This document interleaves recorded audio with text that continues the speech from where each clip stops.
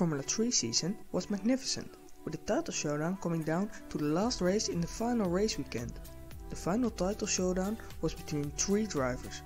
Logan Sargent, an American driver in his second year in the series, finishing P19 with 5 points, points only in 2019, while getting third place in Macau.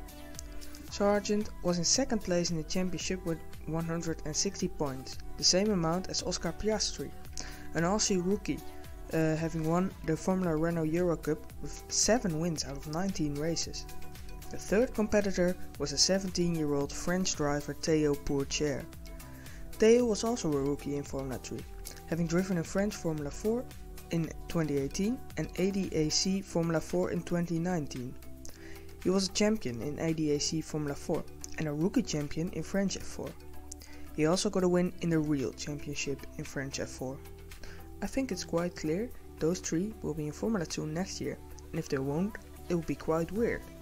But if they promote to this series, will Theo Pourchaire make a chance on the Formula 2 title in his rookie year?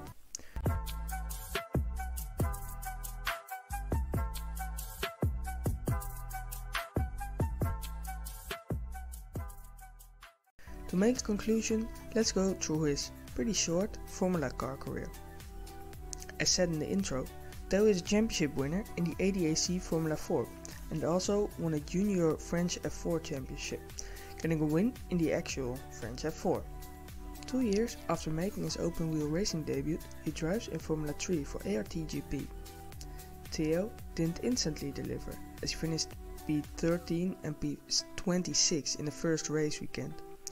The second weekend already though, he finished P9 and took his first win in the sprint race.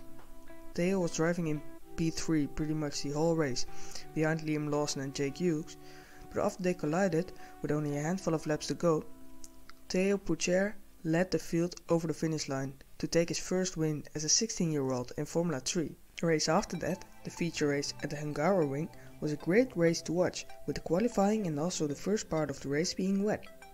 There was carnage at the start and the safety car came out.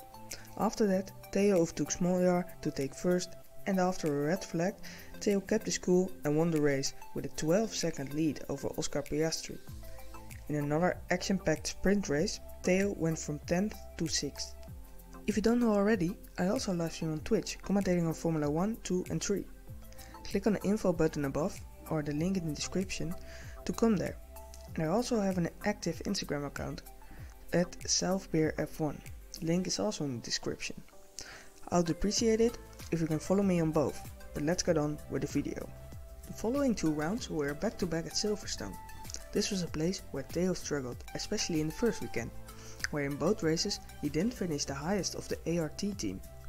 Something what only happened 5 times in 18 races, with 3 of the 5 being in the first 5 races, where Theo, logically, still had to learn a bit about the Formula 3 car. In the first weekend, Theo finished P12 and P8. The second weekend though, Theo was doing way better.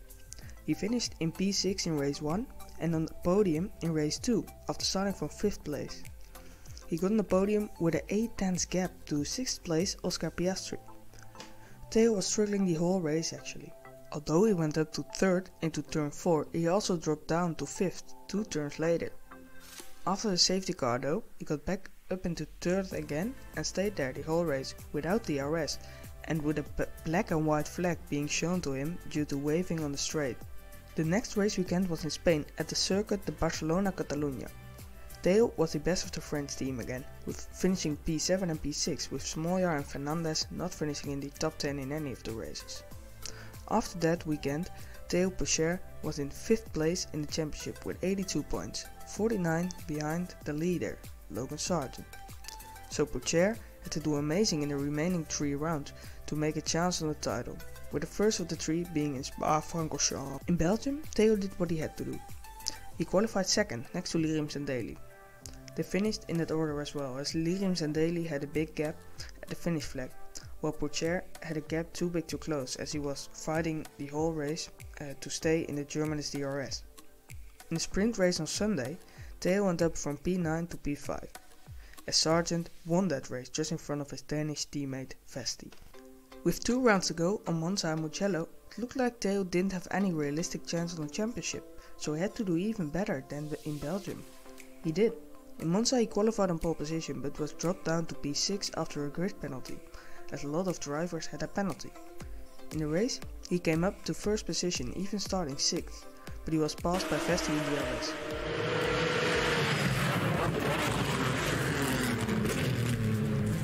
Theo himself said he was struggling with the rear tires. That's why he couldn't get past the Dane. The sprint race though was a pure masterclass. Theo started P9 and dropped down to P18 after he lucked up and went into the gravel in one of the first lap of the race. Being P18, the Frenchman didn't give up and gave it everything. He went from P18 back onto the podium and at the end finishing P2 after a post-race penalty for Liam Lawson. Theo quoted after the race, It's been a tough year for me, even with the good results this weekend and both victories at the beginning of the year. I think we can fight for the championship. So F3 went to Mugello for the last race weekend of the year. The championship standings were Oscar Piastri in first place with 160 points. Second place Logan Sargent with 152 then Theo Pourchaire with 136 and in fourth place Liam Lawson with 127. In the final practice session of the year Theo was 5th, Logan 8th and Oscar 13th. So coming into qualifying Theo had the better form. However, Logan Sargent did the work for Prema who already were crowned champions. Logan qualified P2 but carried a 3 place grid penalty over from Monza so he started P5. Theo started P7 and Oscar set the 11th time but also had a 5 place grid penalty, which dropped him down to 16th place on the grid. Obviously, Sargent and Pourchaire were aiming for at least a podium and hoped to get a win, whereas Oscar was hoping to finish in the points, to have uh, some yeah, good points and starting at a good place for the reverse grid race on Sunday. The only one who got what he was aiming for was Theo, who finished an incredible feature race in third place. Oscar finished P11, so it all came down to the final race. Before race 2 at Mugello it was still Piastri and Sargent on 160 and Pourchaire on 151 points. Sargent immediately crashed out in turn 2 with Lirim Zendeli and after lap 1 it was Piastri in 7th ahead of Pourchaire. After the safety car, Piastri dropped down to 10th and Pourchaire took 6th. It wasn't enough for the title for Pourchaire he eventually came up to third, but Piastri was in 8th, what meant Theo had to get either fastest lap or the second place. He didn't get any of those two and Piastri was the new FIA Formula 3 champion. This meant the final championship standings were 1. Oscar Piastri 164 points, 2. Pourchaire on 161 points and 3. Sargent on 160 points. It's quite obvious all of those three drivers will go on to Formula 2 next year. The teams aren't confirmed yet, but Pourchaire will drive in a HWA RACELAB in Bahrain. I hope Theo will not get an HWA RACELAB seat for next year as the team's doing really bad this year.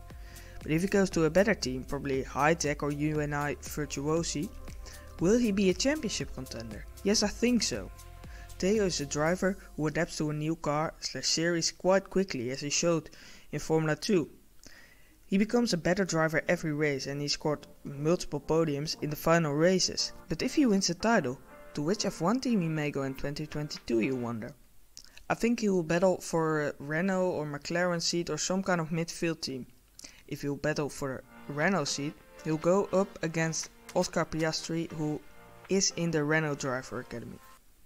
So, what do you think about Theo Pourchaire? Do you think he'll be a title contender in F2 next year or not yet? Leave your opinion on the Frenchman down below and like and subscribe if you enjoyed the video. For now, I'll see you guys next time. Bye bye.